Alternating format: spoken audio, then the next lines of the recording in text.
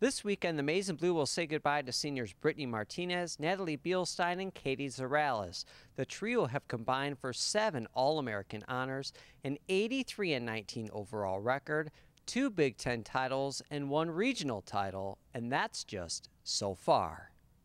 Okay, Coach, I'm sure this is never easy for you, but three of your highly decorated seniors are about to have their final home meet of their careers here. Just your thoughts on that uh, going into the Saturday you know, it, it's always bittersweet when you have senior night because you know they they all have been so important to the program, and you know we've seen them come in as uh, as girls, and now they're leaving as women, and you know it's a pretty exciting process. Um, I'm proud of them. I'm happy for them, but uh, uh by the same token, it'll be you know kind of sad to see them go as well. So we'll wish them well and thank them for the, you know everything that they've provided us during their career here at Michigan.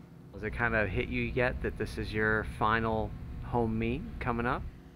Uh, not yet, but just sitting in class thinking about this weekend today, I was like, got all kinds of chills, and I was like, can't believe it. it seems like just yesterday that I saw my seniors walk out there.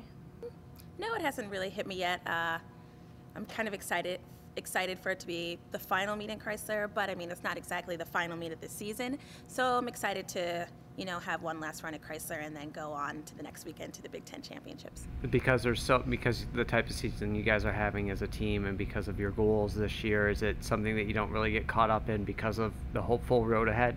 Uh, yeah, I think that's definitely what happens. Uh, we're just more focused on every meet, one meet at a time, and you know, I haven't really been focused on the fact that it's just the last meet in Chrysler, but just you know, going out there and you know, having a successful meet with everybody else, and then uh, going on to the next meet. I'm really excited to compete in Chrysler again. It's bittersweet that it's the last time, um, but ready to go out there and do my job as well and come out with a good home score for our final meet of the season.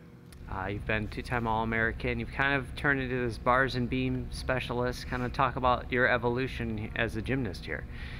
Uh, yeah, I came, I came into college wanting to be an all-arounder. It was uh, always my goal. Freshman year, I got to see a little bit of that, which was really exciting. But my ankles just didn't want to let me do that. And uh, bars and beam, I love the event. I am so happy that I can still be contributing on those two. And so that's what it's like come down to, and I, I love it every day I get to compete it having the major injury that you had last year and having to sit out and watch did it give you a special appreciation going into your senior year to kind of soak in every moment? Oh definitely. I mean it was really hard to sit out for the rest of the season and have to watch the team especially last year since we had uh, such a struggle and we didn't have as much people in our lineup as we do now in the depth. So it's definitely gave me more appreciation of the sport and uh, you know it's exciting to be back out there with my team and i'm just excited to have one last chance to do that at chrysler you were an All-American prior to the injury. You are adding uh, more routines and getting more difficult routines back there. Are you feel like you're you're back and then past where you were before you got hurt at this yeah, point? Yeah, I'm definitely. I feel like I'm definitely back, and I feel uh, very confident. Uh, my floor routine is where I want it to be, and I mean we might add something here and there, but I feel like I'm definitely back on vault and floor, and hopefully uh, we'll see if I can get into the bar lineup uh, one last time here. Uh, some of the other teams I've talked to have talked about competition in practice, and when you're surrounded by talent, it helps you elevate. Having someone in the all around like you jo- and Joanna mm-hmm. competes at such a high level. Does that help you? You guys have you know a friendly competition with each other. Joe and I have a great dynamic. We both push each other in competitions. We have a really healthy competitiveness with each other, and I think that drives our team to do even better. And I'm always so proud of her when she does incredible because that contributes to our awesome score and hoping for her to get that 10 on floor finally. You know, obviously you guys are having a pretty special year at this point, but it's far from over. Yeah, it has been very special, and we want to finish it out on a special note. Our goal is to reclaim that Big Ten title again and keep the Michigan tradition alive. And we want to, again, be back at Nationals this year and go after a na- national championship.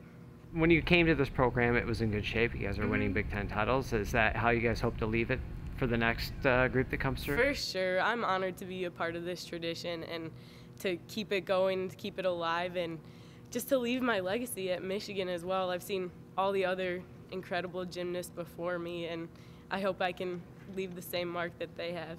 This particular class that you're you're seeing out, they've all kind of been bound together by the same thing. They've all had to overcome adversity. Katie as a freshman, Natalie and Brittnee last year. Talk about them their their ability to bounce back from that.